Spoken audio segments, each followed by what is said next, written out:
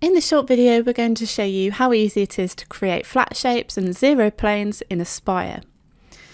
So to start with, we've got a set of vectors and we're going to use these to demonstrate how to use the flat shape option.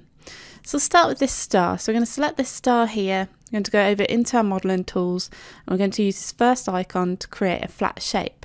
When we click on that, that will enable us to create flat shapes. So we're just going to change our view here Okay, and you'll see in the 3D view our vector is selected and we've got this handle here. Okay, so when I hover over the handle, we can see we currently have a zero, we've got no shape in here. And if I click on the handle with my left mouse button and then start to pull that up using my mouse, you can see that I'm able to create a flat shape and the numbers that you are seeing there is the height at which that flat shape is at. And when I let go, that will create that flat shape. I can see that is at 0.3171. If I wanted to be more specific, I could actually type in a value. So I could make that a quarter of an inch, press enter, and then that will apply that there for me.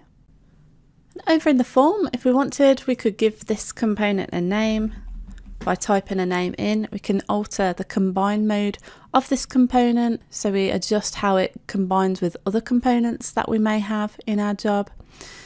And you can hit apply to accept that name and close out. Then you've got your first shape created. And if we go to our components tab, we can see our component listed in level one here. It's named star and we can turn the visibility of that off or we could switch that on again. Now that we've created our shape, we can actually move it around if we wanted to. We can rotate it, we can resize it. And we have access to lots of different editing tools. And as part of that, we can still further edit the actual height of this by adjusting the height value here. So again, that same icon. And again, if we wanted to be more specific, we could go in there and then type in a value that we want. So now let's have a look at another example. So I'm going to take this circle here, I'm going to go into our design tab and we'll go back into the create flat shape option. Okay, here we're just going to create our shape. Okay, so you can see we've got something strange going on here. Okay, and this is the way that this component is combining with other components that we have in our job. So at the moment it's currently set to add. Okay, so if we want that to blend in with the star, then we'll just set that to merge and then that will just blend in nicely there. Okay, so you can see how that looks. Now we also have the ability to make further adjustments to our newly created shape using this button here okay? So again we've got the ability to adjust our combine modes just like we do over in the form. We also have the options to apply a fade or a tilt. So a fade will fade a component down by a percentage and the way that we do that is we simply click to accept the fade option. Okay and I'm actually going to just put this down the top view here and what we need to do is we need to specify our anchor point. So where we want the, our fade to start and where we want the fade to end. Okay, so I want to fade from the left to the right. So we need to use the set option here and then I click over anywhere that I want to start my fade. So I want that to start on the left hand side of our circle. And you'll see we've got an anchor there with the number one next to it. And when I click that, you'll see that number's now changed to a number two, which the software is telling me I need to now select my second anchor point, which is where I want to fade down to. So if I want to fade from left to right, I'm going to go over to the right hand side and then I'm going to click that in place. Okay, we'll just tilt our view again, okay, and maybe I'll just use the twiddle here and you can see that our component is fading down from the left over to the right hand side okay and it's doing that 50% of its current height. And we can see that because we've got that set in our form here. And if we use that slider we can increase that. And you can see as we're increasing that uh, that's automatically updating for us there in our 3D view. So we've got lots of control over the fade. Now, if you didn't want the fade, just uncheck that and then it will just reset back to its default setting of its just standard base height.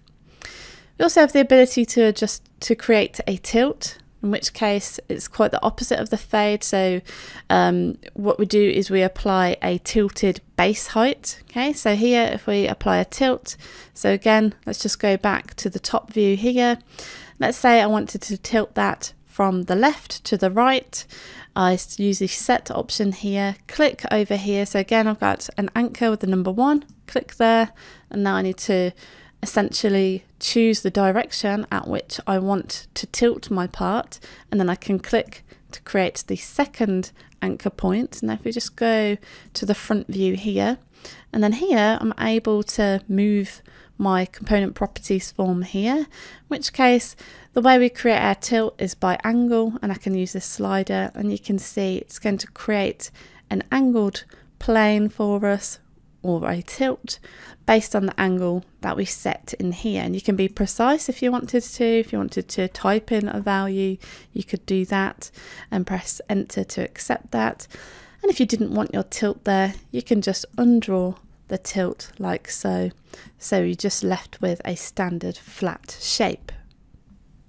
And again, if you wanted to give that a name, you can just type that in like so, apply that now if you wanted to create another shape, you can simply, whilst in our functionality here, we can just click on our next vector, uh, in which case we can then go ahead and create another shape. So here, let's just pull on that like so. Here's my newly created shape and then we can just close out here. And then back into our component tree we can see our three components. We can also see them here from our levels drop down which is handy if you didn't want to come out of your design tab and it's worth noting as well that uh, once you've created your components, they actually have no relation to the vector anymore. And so, for example, if I delete that, I can take it, I can move it around, but I can also make edits to the actual form itself. So if I press N on the keyboard, you can see I'm able to access node edit mode for the actual component. And if I move any of these points around, you can see that I'm editing this on the fly and we're getting instant updates using the shape that we've created uh, at the same height. And you can see we can make further edits there. Now we're going to look at one final example, and that is how to create a zero plane. So a zero plane is where we create a plane that has zero height. So what we're going to do is we're just going to take everything and we're just going to delete everything there. Let's put that back to the top view. So to create a zero plane, come over to your modelling tools. And before you click on the create flat shape, if you hold down shift and then click, that will create you your zero plane, which you can access here. It's also worth noting that if you are in the 2D view, you won't actually see anything. However, there has been a zero plane layer created and when you click on that you'll see that we've got the grayscale version of your zero plane but by default we just hide that uh, just so it doesn't obscure any vectors or any other components that you may want to view in the 2D view. And so having a zero plane in view not only gives you a visual cue to where zero is on your job, but in modelling operations where you have negative shapes in them, having a zero plane in place will help prevent some possible issues that we might have when we come to machine negative models. And you can learn more about that in the how to create a carved and dish recess videos that we'll link in the related videos section. So that completes this video on how to create flat planes in Aspire. Thank you for watching.